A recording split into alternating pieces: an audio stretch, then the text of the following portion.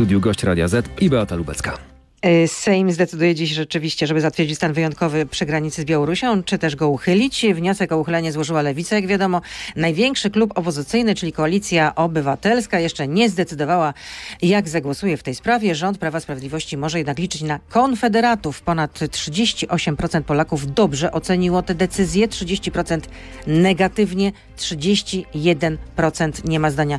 Widać, że opinia publiczna jest podzielona w tej sprawie. Z nami jest Piotr Miller, rzecznik rządu. Usta premiera Morawieckiego. Dzień dobry, panie rzeczniku, dobry. panie ministrze. Dzień dobry. A pan w ogóle był gdzieś e, na wakacjach? Byłem wyjątkowo, akurat faktycznie w tym roku miałem urlop, więc bardzo się z tego powodu A cieszę. gdzie? Byłem 3 dni za granicą i pozostałe 11 dni, bo 14 dni byłem na urlopie w Polsce na Pomorzu. I wypoczął pan? Wypocząłem, wypocząłem. Rozumiem, pełen energii. Nie wiem na jak długo, ale Ale tak. No i zresztą młody człowiek jeszcze. O wyniku głosowania w sprawie wprowadzenia stanu y, wyjątkowego na tych terenach przygranicznych z Białorusią. Premier jest spokojny? tak, ja tutaj się nie obawiam i pan premier też e, żadnych obaw nie wykazuje. Myślę, że do tego Sejm podejdzie racjonalnie. Pamiętajmy też, że ta procedura jest specyficzna, żeby em, zablokować taką decyzję, trzeba mieć bezwzględną większość głosów, więc to jest trochę inna sytuacja niż e, zwykła e, większość sejmowa. Ale dlaczego premier wcześniej na przykład nie zaprosił przedstawicieli opozycji, żeby z nimi porozmawiać, jak poważna jest sytua- sytuacja? Bo przekonujecie, że jest poważna. No to dlaczego nie można było porozmawiać z opozycją w sposób cywilizowany po prostu? Pani redaktor, ale od jakiegoś czasu już mam wrażenie, niestety ciężko się rozmawia z opozycją nawet w sprawach takich Ale nawet nie podjęliście próby. Bo nasze doświadczenia w ostatnim czasie niestety są, delikatnie mówiąc, mało pozytywne. Natomiast procedura przyjmowania stanu wyjątkowego jest jasna. Najpierw to wnioskuje Rada Ministrów, później akceptuje prezydent. No wiem, to już wszystko obserwowaliśmy, tak. tym teraz jest etap sejmowy i etap dyskusji również w ramach Sejmu i tam oczywiście wszystkie argumenty dodatkowe padną, jeżeli nie przekonują te argumenty, które są w tej chwili, czyli 10 tysięcy migrantów, które mogą w każdej chwili przejść przez granicę, ćwiczenia zapad wojskowe rosyjsko-białoruskie, które też generują niebezpieczeństwo. E, Nawet kwatera główna NATO czy Komisja Europejska potwierdzają te zagrożenia. Ale słuchając premiera Morawieckiego, nie sposób oprzeć się wrażeniu jednak, że chodzi o to, żeby te, tam nie można było pojechać na miejsce, żeby dziennikarze nie mogli tego relacjonować jednak na bieżąco, bo skoro premier mówi, że trzeba zakończyć wycieczki i happeningi, to co to oznacza? No to właśnie oznacza redaktor, to. to, to oznacza, że należy zakończyć prowokacje, które są na granicy. Oczywiście ja cieszę się, że dziennikarze e, relacjonują te wydarzenia i chcą to robić, ale są takie chwile, w których należy ograniczyć przemieszczanie się na pewnym terenie, jeżeli stan wyjątkowy. My mówimy o 3-kilometrowym pasie nadgranicznym. Widziała Pani prowokacje, przecinanie e, drutu e, na granicy, różnego rodzaju grupy, które, NGOsy, które próbowały przedzierać się przez granicę nielegalnie i pomagać drugiej stronie, pomimo tego, że tam jest zorganizowana akcja przez reżim Łukaszenki i przecież wszyscy to wiedzą. Są zdjęcia, są filmy z tego, że reżim Łukaszenki wprost organizuje e, przejścia e, tej grupy migrantów, normalnie im pomaga na miejscu. Zresztą dzisiaj też dodatkowe materiały w tym względzie pokażemy. Kiedy? Na konferencji pana premiera Mateusza Morawieckiego. No tak, o 11 Kamińskiego. jest ta konferencja. A, a my mamy jakiś plan w sprawie tych koczujących, czy po prostu będziemy patrzeć, jak oni tam po prostu y, no, są w coraz gorszym stanie? Tylko to jest teza, która jest powtarzana, ale jest nieprawdziwa. Znaczy, tam na miejscu e, tym osobom, które są na granicy, pomagają służby białoruskie, ponieważ to służby białoruskie wypchnęły tych ludzi, którzy są w bardzo trudnej sytuacji, bo to zostało zorganizowa- zorganizowane przez reżim, reżim Łukaszenki. Ale oni mają no, jedno, jednocześnie na granicy pomoc w zakresie em, żywności, w zakresie wody i wszelkich innych środków. I dzisiaj to też na konferencji wprost pokażemy, bo są na to jasne dowody.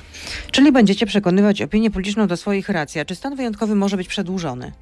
Zgodnie z konstytucją może być oczywiście, no tak, ale, czy, my czy byśmy bierzecie to pod uwagę? To zależy, jak będzie zachowywał się reżim Łukaszenki w tym zakresie. Pamiętajmy o tym, że, tak jak wspomniałem, na terenie Białorusi w tej chwili jest około 10 tysięcy osób z krajów arabskich, które zostały przetransportowane e, samolotami białoruskimi na teren Białorusi, czyli to reżim Łukaszenki zaprosił em, te osoby na swój teren, a teraz wypycha je siłowo niestety na granicę Unii Europejskiej. Jednocześnie reżim Łukaszenki w tej chwili organizuje kolejne linie lotnicze z krajów arabskich po to, żeby więcej tych osób przywieźć.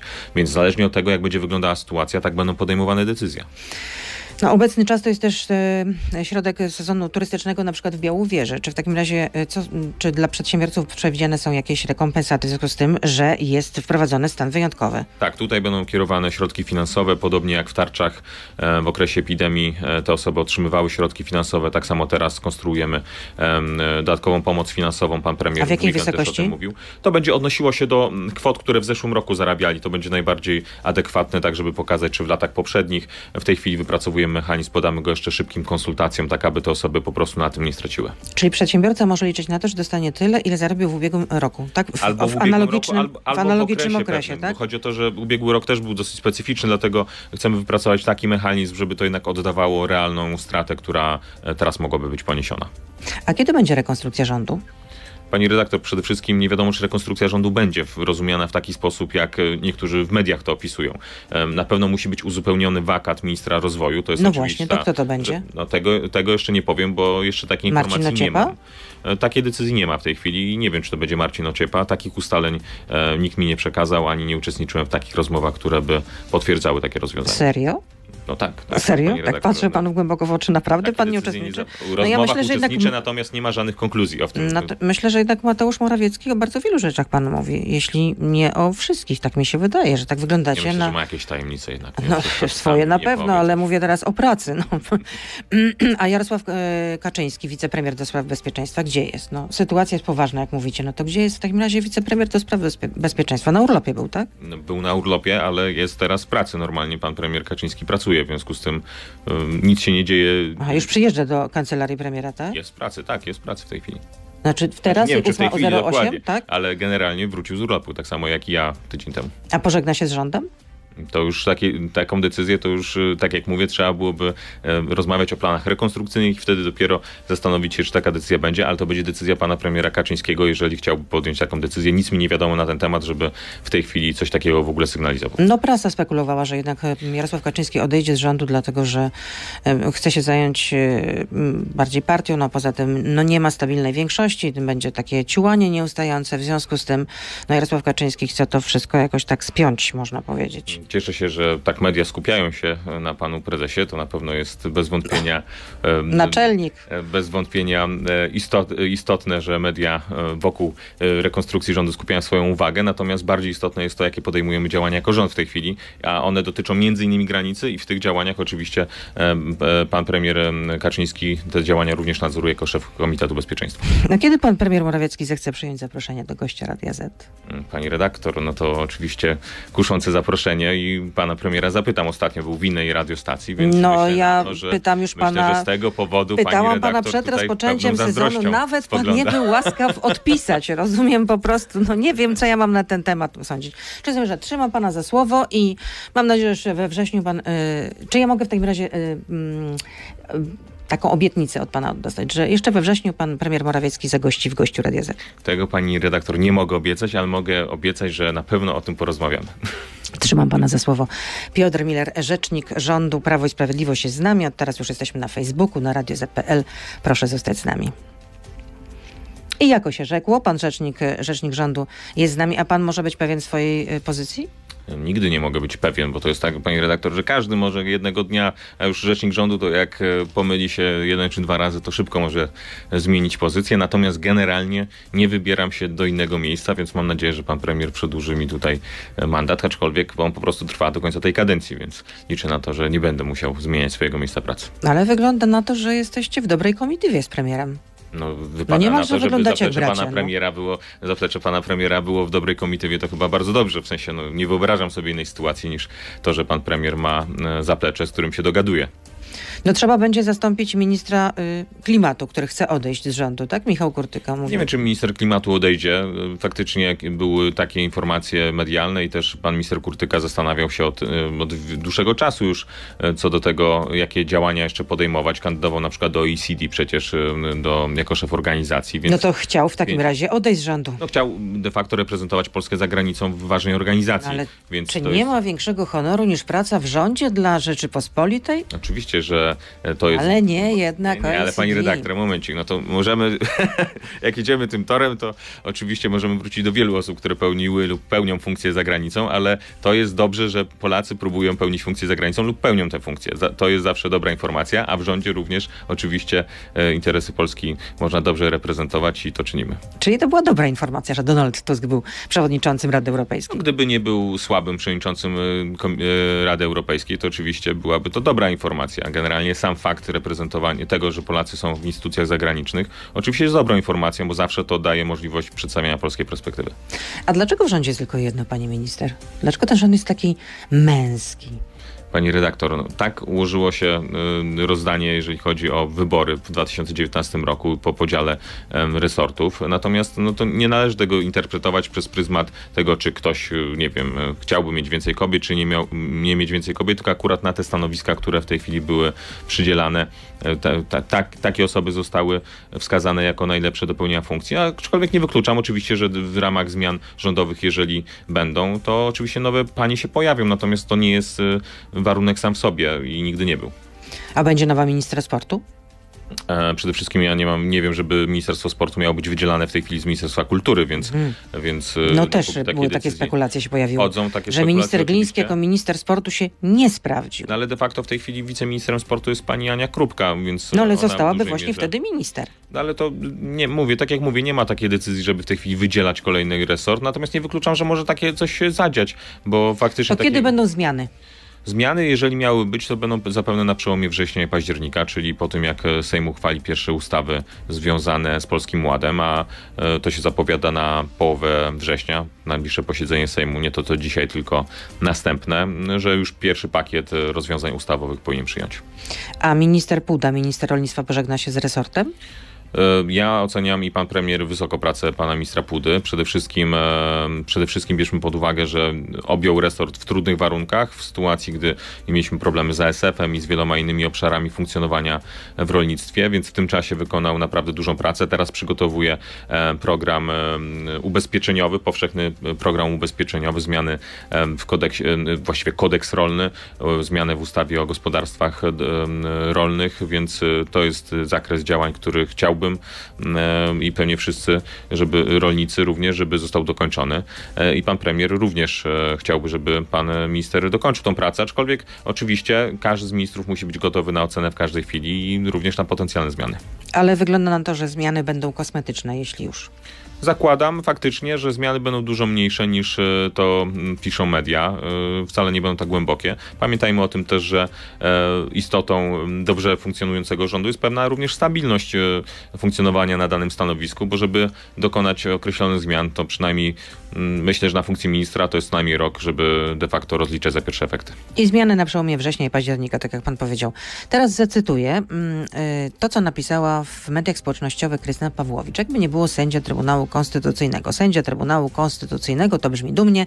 Gdzie jest kod z Afganistanu, odegrał rolę, i go zjedli, czy wycofali na inną graniczną placówkę? Jak pan to oceni? Ja nie znam tego wpisu, w jakim to w ogóle jest kontekście, bo Y, W takim kontekście, że wśród tych y, uchodźców na granicy mm, jest też kot, o czym informowała Fundacja widzę, Ocalenie i chodziło o to, że ten kot się po prostu podążał za rodziną i w związku z tym y, ci ludzie się nad nim zlitowali i przygarnęli ze, ze sobą tego, tego kota. Panie redaktor, no, do siebie, no, powinnam powiedzieć. Nie wiem, no, nie znam tej sytuacji, tak jakby emocje polityczne w kontekście sytuacji na granicach są duże. Rozumiem też fru, y, y, frustrację, która się pojawia w związku z tym, że część działaczy próbuje na siłę przejść przez granicę, przeciąć druty, ale też y, cenię sobie każde działania, które mają charakter humanitarny. Ale to nie jest zbyt to- okrutny wpis, pana zdaniem. Pani redaktor, wiele okrutnych wpisów w internecie widziałem. Nie znam tego konkretnego, nie znam kontekstu i bardzo nie lubię No już ten komentować. Tak, tak, ale strasznie lubię komentować sytuacji, gdy nie znam jej e, głęboko. Natomiast tak jak pani mówiła, jeżeli to są jakieś działania, które mają charakter humanitarny, czy to mają wobec e, ludzi, czy to wobec zwierząt, ja zawsze takie działania będę pochwalał, o ile są zgodne z prawem i zgodnie, zgodne z interesem Polski. Ale czy sędzia Trybunału Konstytucyjnego w ogóle powinna y, zamieszczać jakiekolwiek wpisy w mediach społecznościowych? Oczywiście jest y, pytanie dobre, bo myślę, że w ogóle sędziowie e, taką no właśnie, aktywność w mediach mantrę, że społecznościowych sędziowie powinni być apolityczni, w związku z tym powinni jednak się powstrzymać od tego typu Moje zdanie jest komentarzy. takie, że generalnie wszyscy sędziowie, czy to Trybunału Konstytucyjnego, czy Sądu Najwyższego, czy sądów powszechnych, administracyjnych, raczej powinni mieć bardzo powściągliwą działalność w mediach społecznościowych. A czy znajdą się pieniądze na podwyżki dla ratowników medycznych? Bo czym grozi na przykład, że będą odchodzić z pracy, to teraz ćwiczyliśmy y, przez kilka ostatnich dni w Warszawie. No zarabiają naprawdę marnie, więc czy znajdą się pieniądze dla nich? Tak, teraz przygotowujemy pakiet e, rozwiązań, które chcemy przedstawić dla ratowników medycznych. Pan premier też w weekend o tym wspominał. Minister zdrowia na dzisiaj zaprosił, z tego co pamiętam, przedstawicieli ratowników medycznych, choć chyba oni e, zadeklarowali, że dzisiaj nie pojawią się na tym spotkaniu, ale liczę na to, że w następnych dniach do takiego spotkania dojdzie i ta oferta zostanie przedstawiona i przedyskutowana. A co w tej ofercie się znalazło? Ja nie znam w tej chwili szczegółów. Wiem tylko, że został, został przedstawiony pakiet finansowy, który ma być dyskutowany i to, co istotne, e, ważne jest to, w jaki sposób te środki miały być podzielone, bo zawsze jest problem finansowania bezpośredniego do jednostek, które prowadzą ratownictwo medyczne, a później tego, w jaki sposób ta jednostka, która y, ma kontrakt podpisany, dzieli te środki z ratownikami medycznymi lub z innymi członkami e, zespołu medycznego. W związku z tym tu jest e, dyskusja, która w tej chwili się w tym zakresie toczy. My zapraszamy do stołu ratowników medycznych. Mam nadzieję, że oni faktycznie spotkają się w tym tygodniu z ministrem zdrowia. Tylko, że oni mówią, że premier tylko obiecuje, że kiedyś, a nie wiadomo ile, a oni oczekują na konkrety. No już pierwszy protest był z tego, co redaktor, pamiętam, wiosną. Od 2015 roku generalnie nakłady na ratownictwo medyczne wzrosły o kilkadziesiąt procent. W związku z tym to nie jest tak, że przez te lata nic No się nie Dobrze, działo. ale ci Oczywiście ludzie nie odczuwają tego w swoich portfelach, a przyzna pan, że to jest bardzo odpowiedzialna praca. bardzo odpowiedzialna, Bardzo odpowiedzialna i, i bardzo, wymagająca jednak bardzo. i bardzo przede wszystkim ważna, tak? bo to, to ratownik medyczny często jest pierwszy na, na miejscu Zdarzenia, zdarzenia wypadku. i ratuje życie. Aczkolwiek chodzi o rozwiązania systemowe i dlatego my zapraszamy do stołu ratowników medycznych, żeby te rozwiązania wypracować, a dodatkowe środki finansowe zapewniam, że na pewno się znajdą. Oczywiście jest kwestia ich skali. E, Tak jak każda grupa zawodowa, e, pewne oczekiwania finansowe e, są wysokie, a później są realia budżetowe pomiędzy różnymi grupami sfery, strefy publi- sfery publicznej, jeżeli chodzi o No zatrudnienie. tak, ale skoro premier mówi publicznie, że będzie korekta budżetu w górę, że dochody będą wyższe od zakładanych, że gospodarka jest rozpędzona, no to nic, tylko jednak spełnić No i te dlatego właśnie między postulaty. innymi w tym roku dajemy, przekazujemy do samorządów, do samorządu terytorialnego 8 miliardów złotych na, e, na ich działanie, bo był taki apel ze strony samorządów e, dotyczący dodatkowych środków finansowych. 8 miliardów dzielimy dla samorządów. Dzisiaj się odbywa komisja wspólna rządu i samorządu w tej sprawie, aby ocenić ten projekt i na najbliższej, myślę, że nawet na najbliższym posiedzeniu Rady Ministrów już przyjmiemy, więc faktycznie te owoce wzrostu gospodarczego dzielimy z różnymi grupami społecznymi i tak samo samorządami. Po owocach was poznamy. Rzecznik rządu jest z nami, Piotr Miller. Nadciąga czwarta fala. Premier też mówił w wywiadzie radiowym, że liczba zakażeń może, on tak przewiduje, rozumiem, że macie symulacje, z których wynika, że to tych, tych zakażeń dziennie może być kilkanaście tysięcy, nawet 12 tysięcy. A w pełni zaszczepionych jest prawie 19 milionów Polaków, E, czyli to jest e, no prawie powiedzmy prawie 50%, no 49,3%. A żeby y, wygasić, y, żeby wygasić pandemię, epidemię, no to ten próg odporności musi być na y, poziomie 70%, tak jak mówią specjaliści. No to jak dalej zachęcać tych, którzy nie chcą się szczepić, bo widać, że ten zapał zdecydowanie przygasł. To, to, to, to, mówię bardzo eufemistycznie. A przecież te zachęty w postaci loterii nie zadziałały. To, czy nie zadziałały, czy zadziałały, No trudno nie, no- ocenić, no pani nie. redaktor, bo z tempo tempo y, szczepień oczywiście na samym początku jest dużo większe, bo idą tam osoby, które są zdecydowane, prawda? Więc nie wiemy, ile osób tak naprawdę zdecydowało się ze względu na em, promocję w OSP, w koła gospodyń wiejskich, w loterii. Wiele różnych działań było podejmowanych. Ta statystyka, którą pani mówi, to ona chyba dotyczy, o ile dobrze pamiętam, osób powyżej 12 roku życia, powyżej 18 roku życia e, ten poziom jest wyższy nieco, no bo oczywiście teraz można szczepić się od 12 No dobrze, roku no ale życia, to, przepraszam, ale ale- wśród dorosłych... Ale e, do tej populacji nie zaliczamy również nastolatków? Zaliczamy, zaliczamy No oczywiście, właśnie. tylko że wcześniej statystyki były podawane od y, grupy osób y, 18, bo wtedy była dozwolona szczepionka powyżej 18, więc to nie jest tak, że nagle nastąpił no to są ostatnie spadek. statystyki, no. Ostatnie statystyki, ale pokazujące pełną grupę już od 12 roku życia, o ile dobrze pamiętam. Tutaj No ale przecież nie można e, zweryfikować. tych te, a, nie, nie, ale dlaczego ty mówię? Bo w tej chwili zaczynała...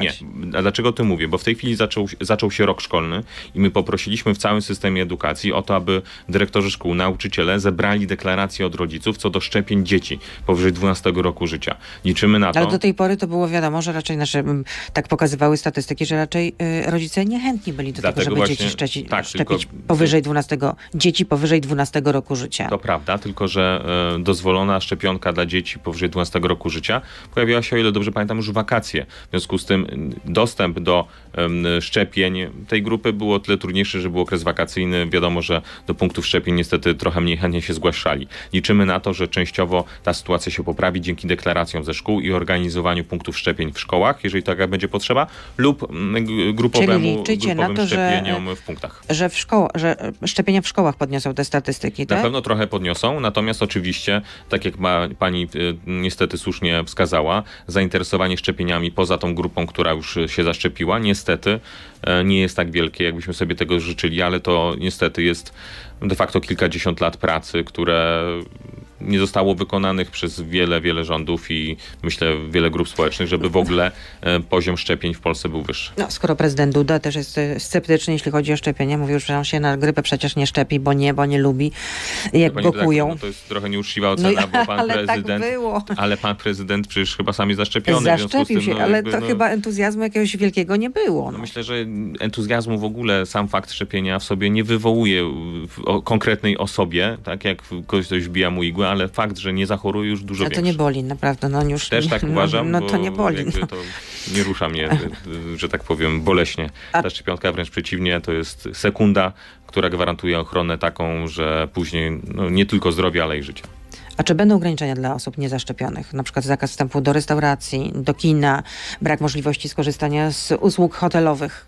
E, Przede wszystkim my, jeżeli będziemy wprowadzać ograniczenia, to będziemy stosować metodę suwaka, czyli jeżeli będziemy e, obniżali li- limity osób, na przykład do kina czy do jakiegoś miejsca, to tymi limitami nie będą objęte osoby zaszczepione. W związku z tym siłą rzeczy, jeżeli by doszło do wzrostu zachorowań, to e, osoby niezaszczepione będą miały no, dużo trudniej, bo na przykład limit osób wejścia do kina czy do innego miejsca będzie na tyle niski, że na przykład część osób po prostu nie będzie mogła wejść, bo w tym limicie się nie zmieści. A, czyli teoretycznie będą mogli wejść do kina, ale jeśli okaże się, że przyjdzie jakaś tam liczba osób e, wystarczająca, żeby to kino zapełnić, e, to kino, które będzie ograniczone, jeśli chodzi o liczbę osób, liczba osób zaszczepionych, no to w takim razie rozumiem, że te osoby, które się nie zaszczepiły, nie wejdą. Tak? Tak, Czyli tak. oficjalnie nie będzie zakazów, ale de facto one będą. Pani redaktor, to jest taka metoda hybrydowa, bo to nie jest taka metoda jak we Francji czy w innych krajach, że w ogóle nie można skorzystać z takiej usługi, ale faktycznie będzie wiązało się z to, mam nadzieję, że nie będzie, no bo mam nadzieję, że nie będzie trzeba wprowadzać takich limitów, że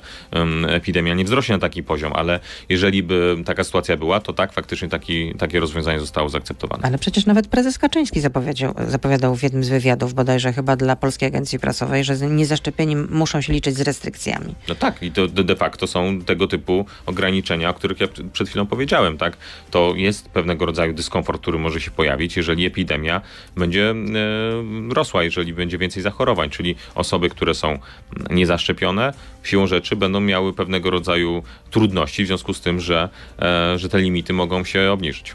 Czyli rozumiem, że y, jeśli na przykład liczba zakażonych dziennie będzie się kształtować na poziomie, utrzymywać na poziomie 20 tysięcy mieszkań, y, 20 tysięcy, przepraszam, osób dziennie, to wtedy wchodząc do kina będę musiała pokazać y, zaświadczenie, że zaszczepiłam się, tak? Jeżeli, znaczy nie, będzie pewna grupa osób, która nie będzie musiała w ogóle pokazać żadnych zaświadczeń, no bo będzie objęta tym limitem, tym limitem jakimś niskim, powiedzmy, nie wiem, 30 osób e, dla osób nie zasz, e, w ogóle, a Aha, poza rozumiem, że- limitem, a poza limitem wejdą tylko te osoby, które, które są zaszczepione. Aha, czyli w tej pierwszej grupie mogą również się zna- znaleźć osoby niezaszczepione. Mogą się znaleźć, tak. Mhm. Darek pyta, czy będą paszporty covidowe tak jak we Francji? No nie będą, tak? Jak Nie, te, tego typu rozwiązania, że w ogóle zakaz wejścia do danego miejsca, e, takich rozwiązań nie przewidujemy.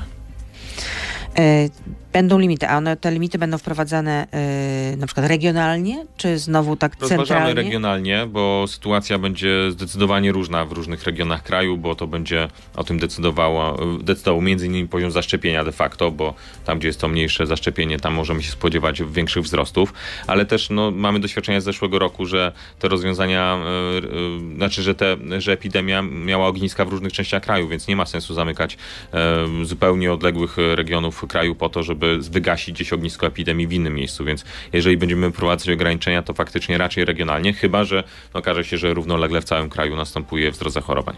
Całkowity lockdown?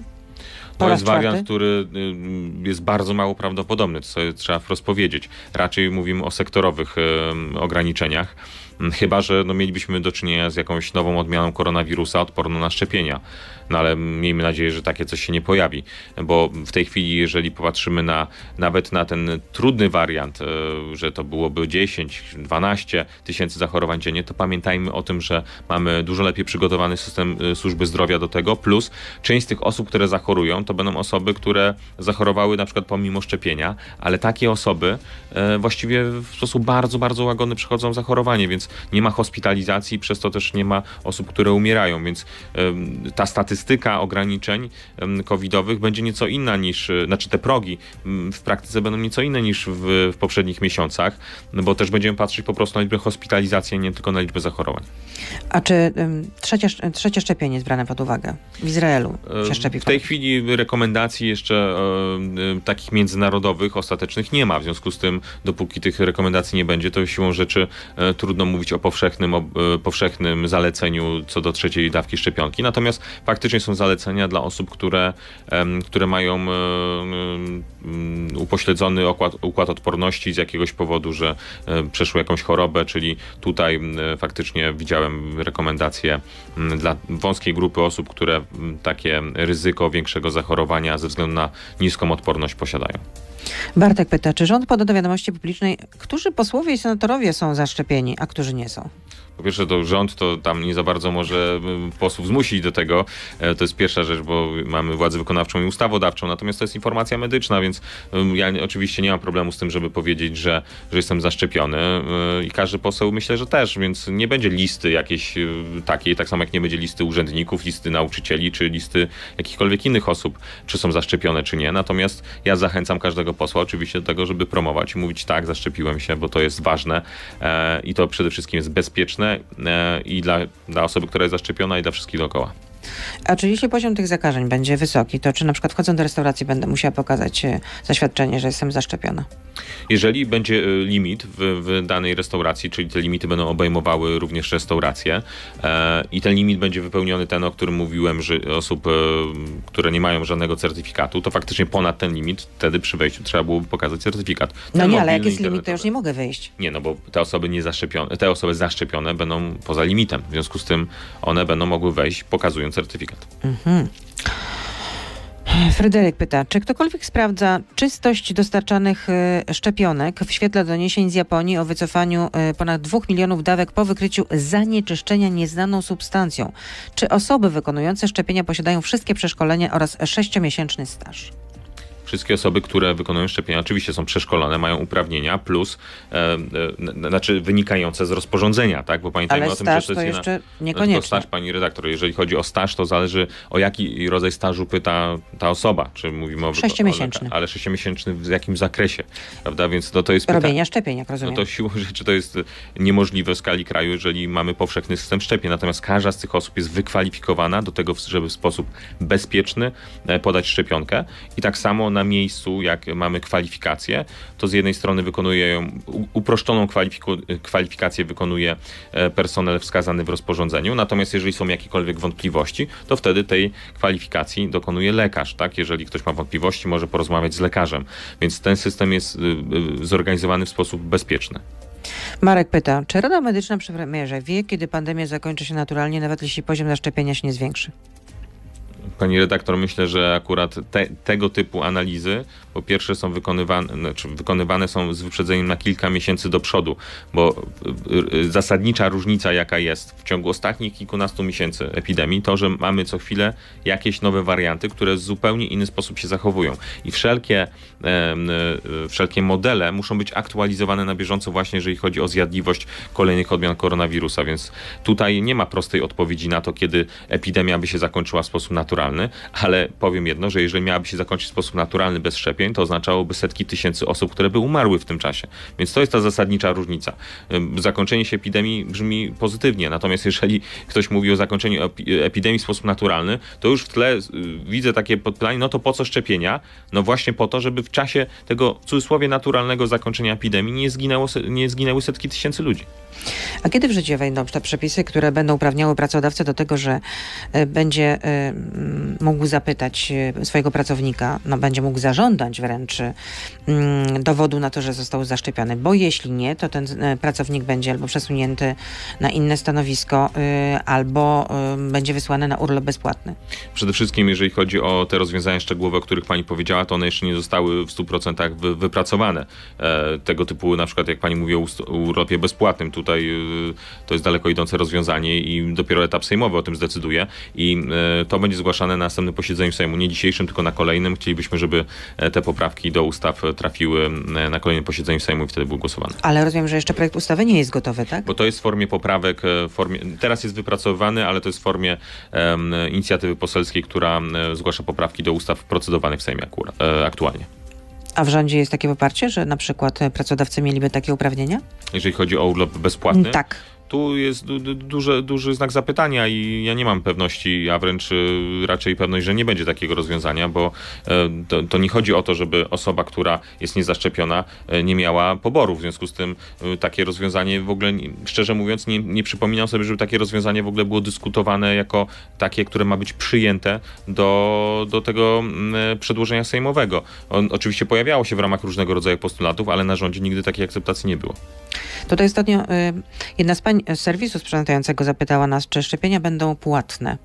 Bo tak słyszała taką informację. Faktycznie my rozważaliśmy to i cały czas e, na pewnym etapie e, rozważamy, żeby już e, szczepienia na koronawirusa były płatne. Natomiast na ten moment do końca września deklarowaliśmy, że one będą bezpłatne. Myślę, że one będą dłużej bezpłatne, natomiast w pewnym momencie mogą pojawić się w kalendarzu szczepień już jako, jako odpłatne. Miejmy nadzieję, że w związku z tym, że już epidemia będzie też w innym zakresie funkcjonowała. Czyli od przyszłego roku na przykład? Od przyszłego roku albo mm, może trochę wcześniej, ale no wszystko zależy od tego, jak będzie wyglądała epidemia. Pamiętajmy o tym, że e, oczywiście wydatki na szczepienia to jest ważna część w budżecie państwa, natomiast, e, natomiast no, to jest wydatek niezwykle e, zasadny i pomagający nam przez epidemię przejść dużo łagodniej, więc jeżeli by to miało jakoś negatywnie wpłynąć na e, skalę szczepień, to, to jest oczywiście wariant, który trzeba zważyć w tym zakresie, prawda? Z drugiej strony też można zmobilizować ludzi do tego, żeby się szczepili, jeżeli miałoby być to w przyszłości płatne, więc no, to są takie e, scenariusze, które e, są dyskutowane faktycznie w rządzie. Laura pyta, czy to prawda, co mówi Jarosław Gowin, były wicepremier, że będziecie mieć problemy z dopięciem budżetu w najbliższych latach, w 2023 i że ukrywacie problemy finansowe? Pani redaktor, jeżeli ktoś popatrzy na budżet państwa, w szczególności na stronę tą e, dłużną, tak, czyli krótko mówiąc zadłużenie państwa, to niech zerknie no, na... Od 2023 roku Unia y, jednak będzie stała na... Reguła wydatkowa to jest oczywista rzecz. Będzie stała na, na, takim twardym stanowisku, że nie można się już dalej zadłużać. Ale to bardzo dobrze. Mamy reguły wydatkowe unijne, czyli korytarze finansowe, które pozwalają utrzymać długi, dług państwa w ryzach, po to, aby faktycznie zbyt szybko e, państwa się nie zadłużały i żeby miały odpowiednią relację pomiędzy wzrostem gospodarczym i innymi wskaźnikami w kontekście zadłużenia publicznego. Natomiast w tym kontekście właśnie chcę powiedzieć o zadłużeniu publicznym. W Polsce e, nawet jak ktoś chciałby liczyć je w sposób jakoś bardzo, e, nie wiem, e, złośliwy, to jest e, na przykład ponad dwukrotnie niższe niż w Grecji. Francja ma ponad 100% PKB, jeżeli chodzi o zadłużenie państwa, czyli kilkadziesiąt procent więcej niż Polska. Więc no, porównujmy takie rzeczy, żeby... Czyli nie będzie problemu z dopięciem budżetu, tak? W 2023 ja roku? Każdy rok budżetowy to jest wyzwanie, nawet 2022, nawet 2021, po to, żeby budżet państwa trzymać w ryzach. Pamiętajmy o tym, że my kilkadziesiąt miliardów złotych dodatkowo skierowaliśmy na pomoc w tarczach e, e, antykryzysowych. W związku z tym to był ciężar dla państwa, ale jednocześnie finanse publiczne zostały uzdrowione przez uszczelnienie systemu podatkowego, VAT-owskiego i tak dalej, zlikwidowanie mafii VAT-owskich, więc to pozwoliło zachować taką poduszkę, która przez ten trudny okres nas, e, nas no, uratowała de facto, no bo gdyby nie te środki finansowe, to dzisiaj byśmy mieli bezrobocie jak w Hiszpanii 15%.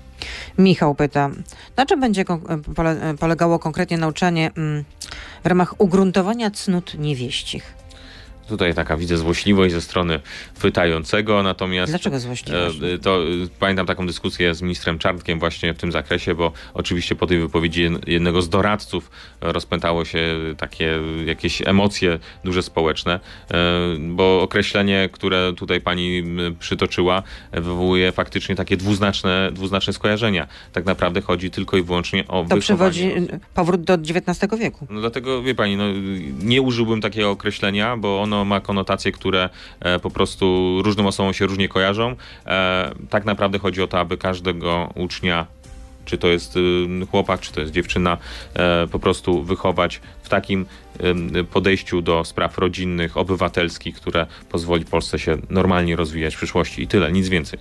No nie chodzi przede wszystkim o to, żeby przygotować młodego obywatela do tego, żeby zmierzył się z XXI wiekiem, Ale żeby sprostał tym ale To, wyzwaniom. jest, je- to samo przez się się rozumie. Pani redaktor, jak może e, e, e, obywatel, przyszły oby, do, do, dorosły obywatel dobrze funkcjonować e, na, e, dla rodziny swojej, dla kraju, jeżeli nie będzie w stanie się zmierzyć z nowymi technologiami, nie będzie miał umiejętności związanych z rynkiem cyfrowym, z oddzieleniem prawdy od kłamstwa w mediach społeczno, społecznościowych itd., itd.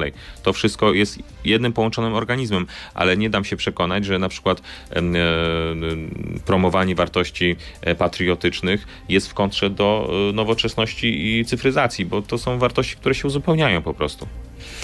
To jeszcze zapytam od siebie, czy Prawo i Sprawiedliwość porzuciło ojca Rydzyka?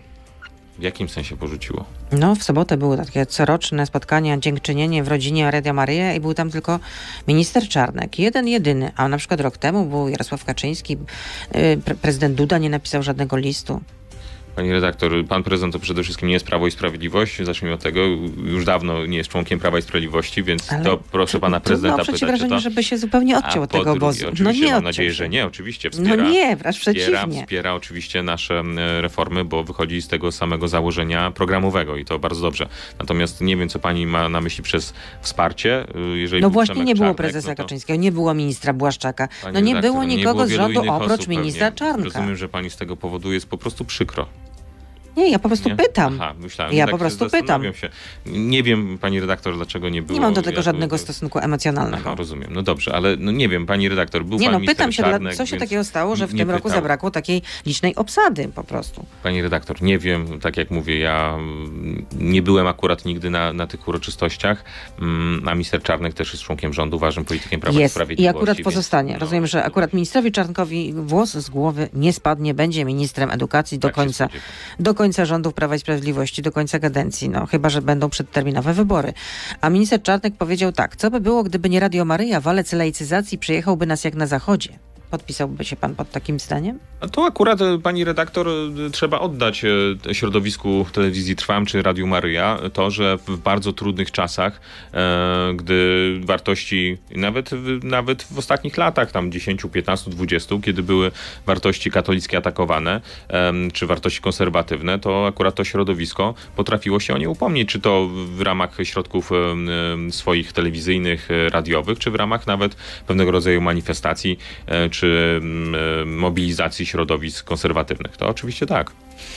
Dziękuję. Piotr Miller, rzecznik rządu, był z nami. Dziękuję bardzo. Zdrowia życzę oczywiście nieustająco. Dobrego dnia. Do usłyszenia, do zobaczenia. Kłaniam się. Bardzo się cieszę, że spotykamy się w studiu. A ja również. Dobrego dnia. Dziękuję bardzo.